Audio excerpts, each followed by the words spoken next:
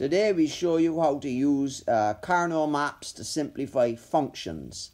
Here is the same function we were using when we were discussing the SOP and POS forms. So let us use this now to simplify using a Karnaugh map. First we draw the Karnaugh map. As you can see it has eight squares, one for each row of the truth table.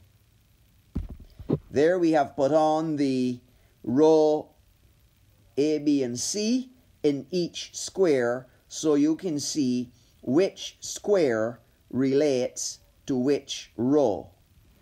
And we know this because you can see there in the green that the A and the B and the C come directly from the rows.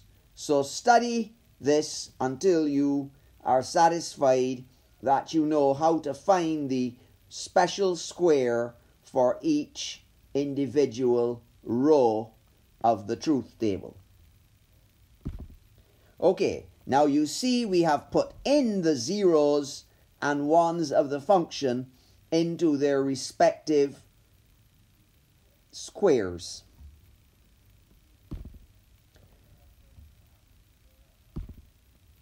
For a sum of products solution, you need to circle groups of adjacent squares containing ones. The rules concerning the groups are that a group of circle squares can only have in two, four, or eight squares. You cannot circle groups with three, 5 or 7, it must be a power of 2.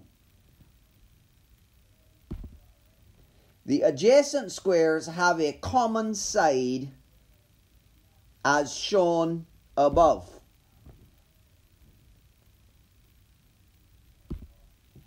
So let's do that.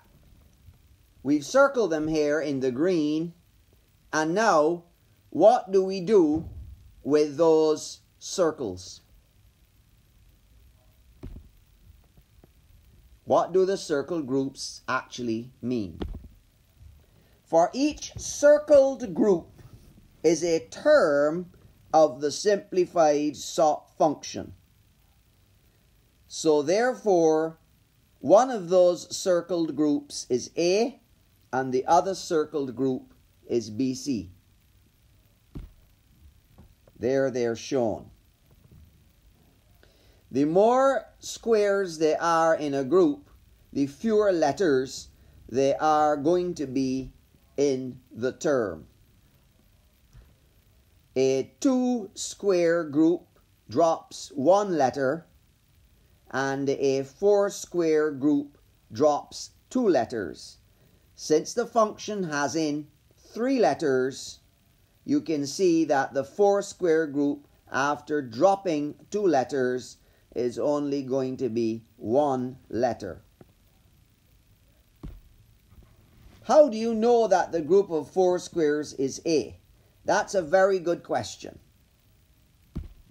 All four squares in the group have A equals 1 in common.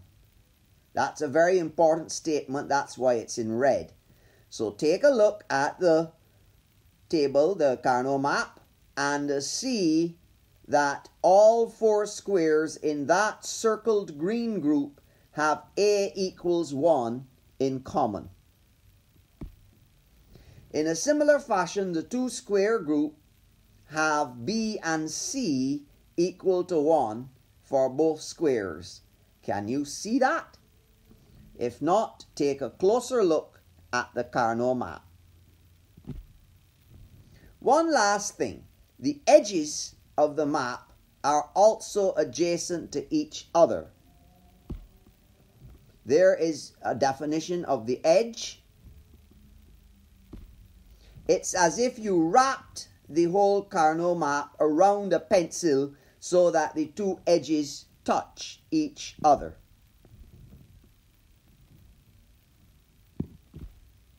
This means that if you have ones at the edges this is actually a group of four squares. And in this case, the term is actually C bar.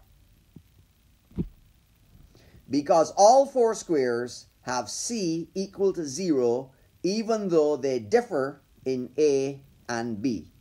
Check it out for yourself in the map above. Would you care to try a four variable map? Here we've drawn three of them and we've put on four ones in the corners. It turns out these four ones are all adjacent to each other because all the edges touch each other.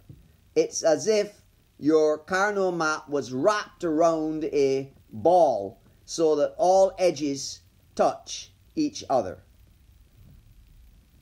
Those four are B bar, D bar because they have B, all four squares have B as a zero and D as a zero. Check it out for yourself.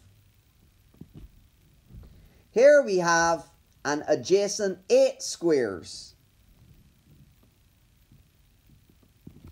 8 squares remove 3 letters. Since the function has 4 letters A, B, C, and D, after we move, remove 3 letters, we have D bar because all 8 squares have D as a 0 even though they all differ in the other three letters.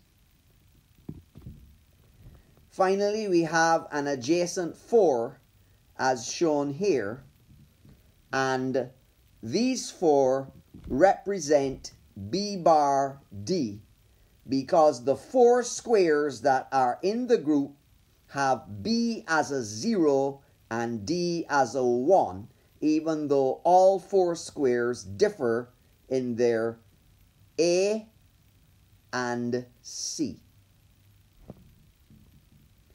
Thanks for watching and we'll see you in the next video.